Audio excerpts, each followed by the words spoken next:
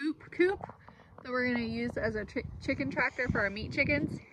And we got it from Living Traditions Homestead. And so we got the, we got the like cattle panel, that'll be the arch or the hoop, chicken wire, and the wood to build the frame. So we're gonna build this for our meat chickens.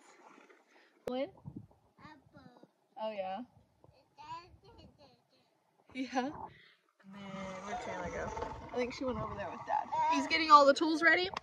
We're gonna build it right here. I'm just gonna do a time lapse of it, but Living Traditions Homestead has a full series on building this hoop coop um, on their channel somewhere. It was a couple years ago.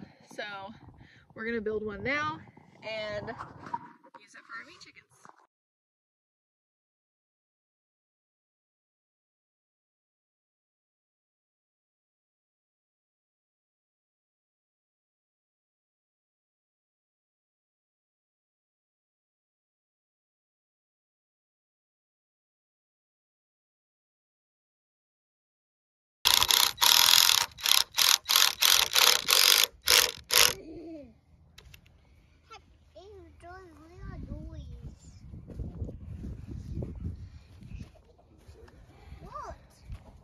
bring me that one.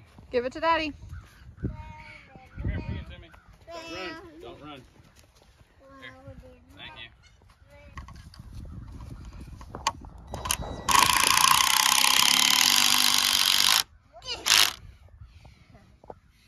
Are you helping daddy? Here. Thank you.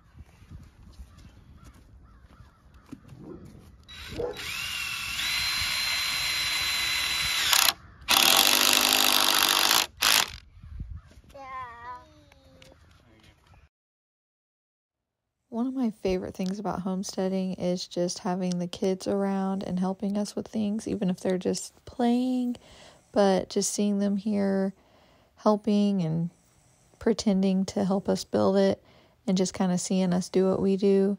And they even help us with chores and the animals and all that.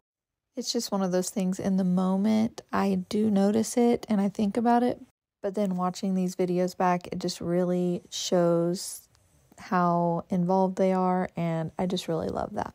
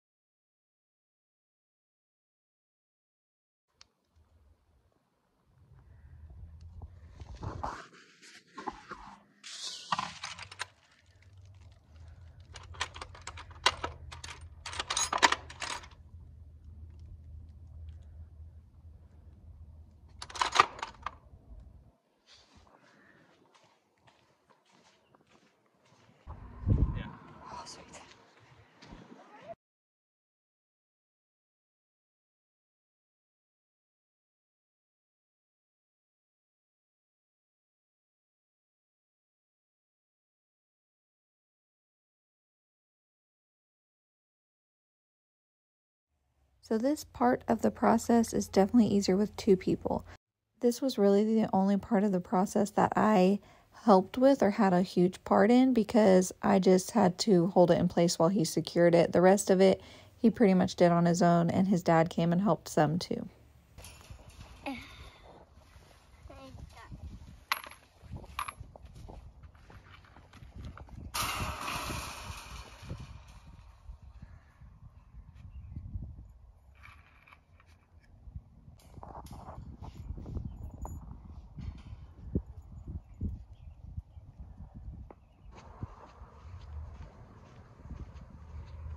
Going to get some pliers.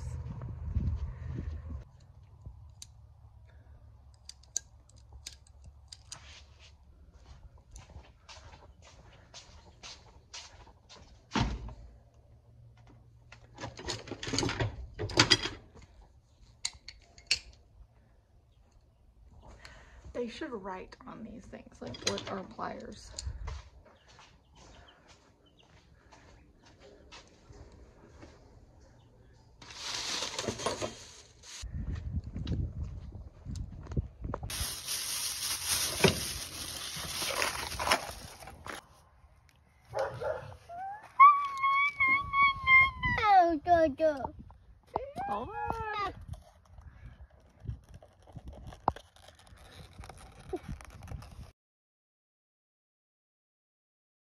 And to finish off the coop, we just had to cut the panel to fit the portion at the end because it wasn't it we didn't need a whole panel. So we just cut right here and then we attached it just like we did the other ones and it was just this long and then we'll just use that piece that we cut in the garden somewhere as a trellis.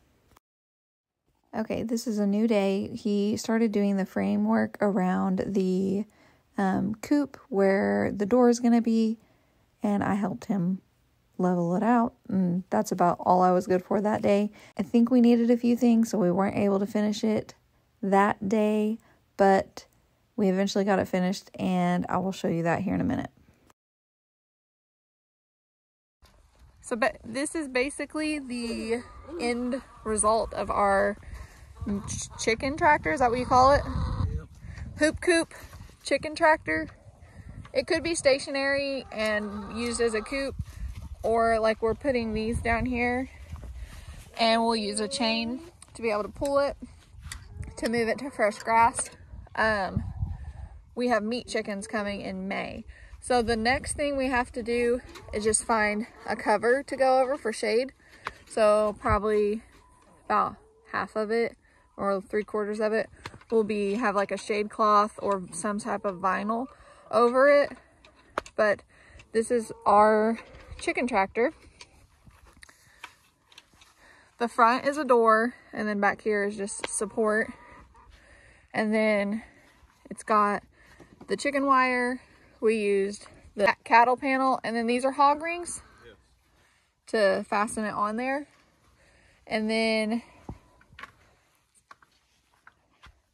But we just followed the Living Traditions Homestead video.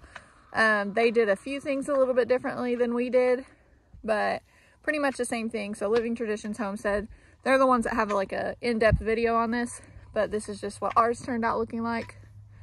I'll show you the door real quick. So this is just the door. Is it, does it go in or out? In. in. So it's the door.